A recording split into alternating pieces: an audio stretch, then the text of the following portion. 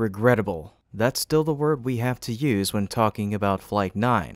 One of the most anticipated new milestones, the payload deployment, didn't happen due to an issue with the payload door. Now it's time to take a closer look at the design and mechanics of this system. What exactly went wrong? And how will SpaceX need to improve it moving forward? Let's dive into it on today's episode of Great SpaceX. Well, it's safe to say that the last Starship flight, while not entirely successful, still made a powerful impression.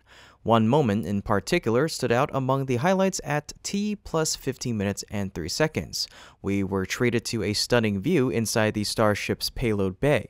For the first time ever, footage revealed the payloads and the PEZ dispenser deployment system installed inside the spacecraft, even though these were just dummy payloads. Still, the excitement was undeniable. We also got our most comprehensive look yet at the layout and structure of the payload section itself. This is something many fans and observers had been hoping to see for quite some time. Unfortunately, the two previous Starship flights failed too early in the mission for any similar footage to be captured. So when we finally saw the interior on Flight 9, the excitement and anticipation skyrocketed. Everyone was expecting to see the payloads deployed just as the simulations and 3D animations had shown, cleanly, efficiently, and elegantly. But that expectation quickly turned to confusion when the mission passed the planned payload deployment window and nothing happened. Soon after, the issue was revealed. The payload door had failed to open. Now, that raises a pretty important question. Why? From what we saw before the flight, everything seemed to be working perfectly.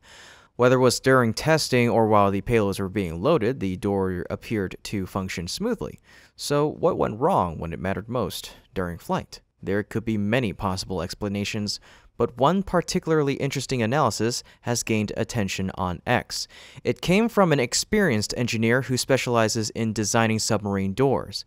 He pointed out a fascinating parallel between his work and the aerospace world, noting the contrasting pressure dynamics involved in the two environments. He explained that underwater systems deal with compression pressure, or pressure from the outside pushing in, whereas spacecraft in the vacuum of space deal with expansion pressure or internal pressure pushing out. This is why submarine doors typically open outward. They're sealed from the pressure of water pressing inward. Spacecraft doors, on the other hand, are usually designed to open inward, using internal pressure to press the door against the hull and maintain a seal. But here's where things get more complicated for Starship. Unlike the pressurized crew compartments of other spacecraft, Starship's payload bay isn't designed to be pressurized.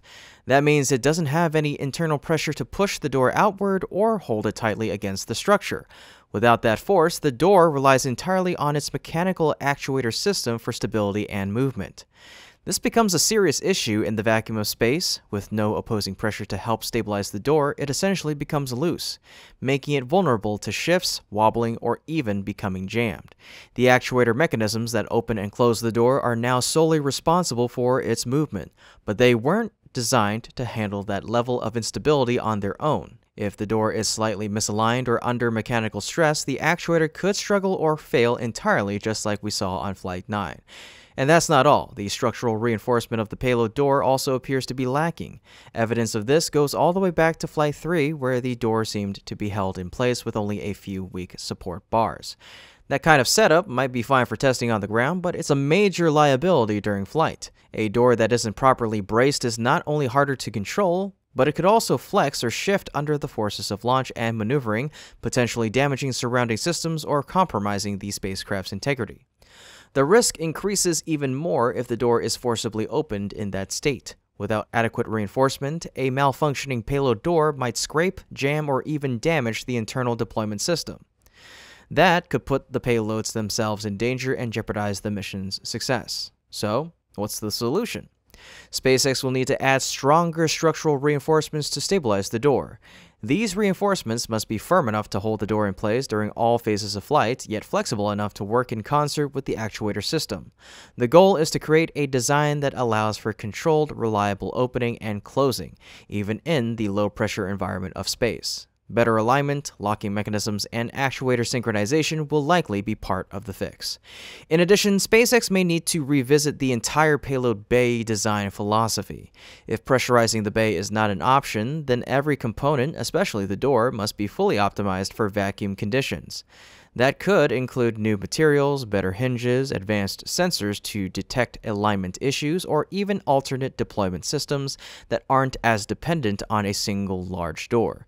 The analysis about pressure dynamics and structural stability sheds a lot of light on why this issue occurred, and it serves as a reminder of just how complex these systems are. So, what do you think? Was the design of the Starship's payload door flawed from the start? Do you see any other potential issues that might need to be addressed? And what should SpaceX prioritize in the next round of upgrades? Let us know your thoughts in the comment section down below. Then, don't forget to like the video and subscribe to our channel so you can stay up to date on every step of SpaceX's development journey. Solving the payload door issue is absolutely essential for SpaceX as it sets its sight on increasingly ambitious missions. This isn't just a minor technical glitch, it's a key piece of the puzzle that will determine whether Starship can fulfill its full potential. First and foremost, fixing the door is crucial for completing the immediate task of deploying demonstration payloads, something that was not achieved during the last flight.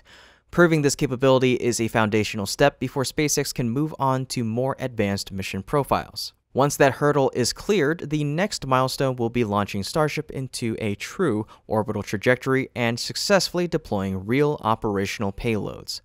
This will mark Starship's first major contribution to satellite constellations or commercial payloads, whether for SpaceX itself or for external customers.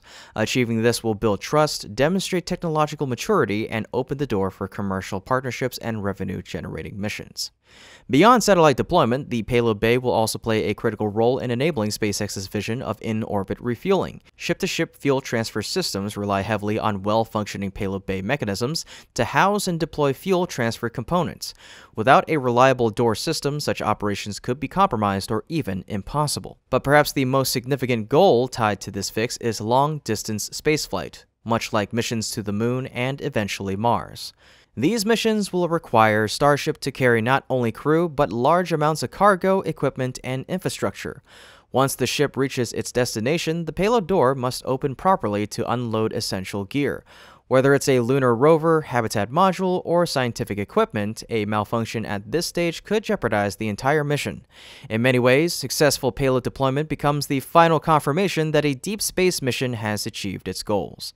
Timing is also critical. SpaceX isn't looking decades into the future, it's aiming for uncrewed missions to the moon and possibly Mars as soon as next year.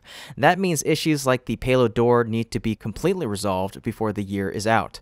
There's no room for delay if SpaceX wants to stay on schedule for Artemis support missions or future Mars demonstrations. In summary, solving the payload door issue is about much more than fixing a mechanical problem.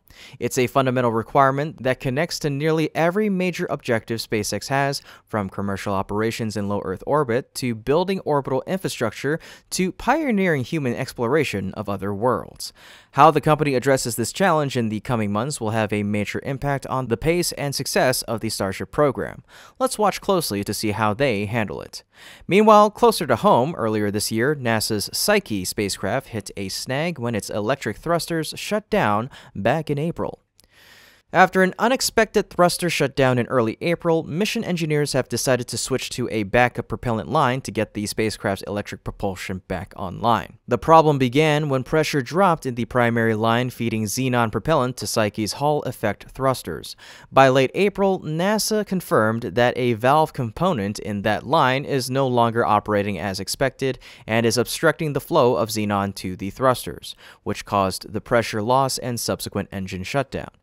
Engineers explored several potential fixes and on May 28th announced they would activate a secondary propellant feed line. Initial tests show this backup line is working smoothly. NASA now expects to restart the thrusters by mid June and plans to keep a similar valve in the backup line open at all times to prevent the same issue from recurring.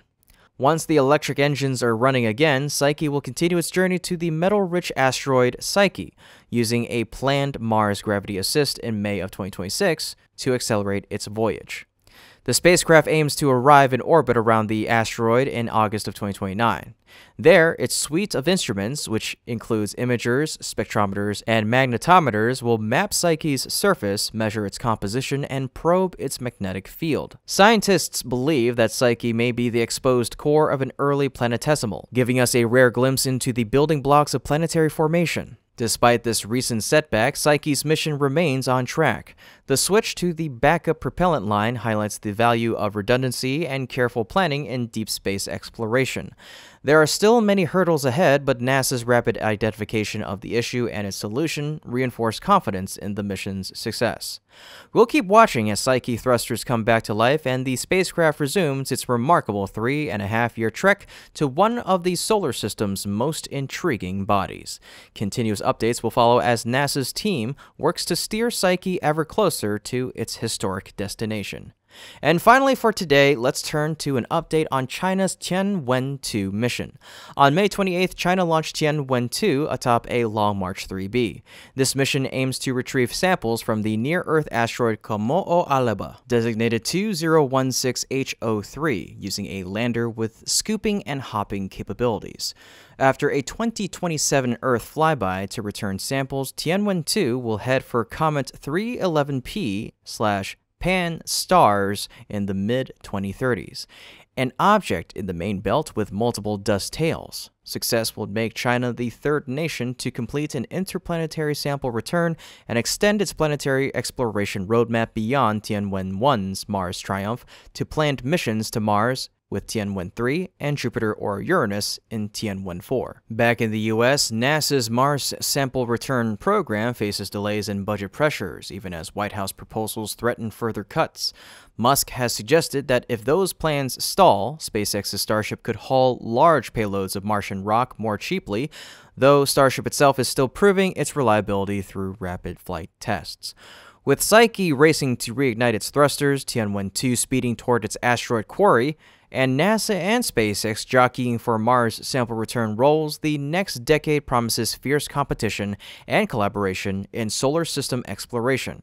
This has been Kevin with Great SpaceX. Don't forget to like the video and subscribe if you haven't already to stay up to date with yours truly on the latest milestones in SpaceX's journey.